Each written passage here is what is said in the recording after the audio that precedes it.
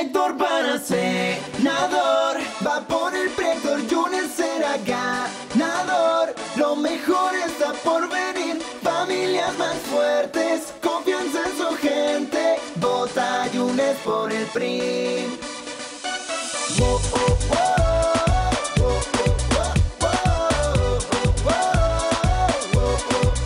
Él viene a representar y buscar soluciones para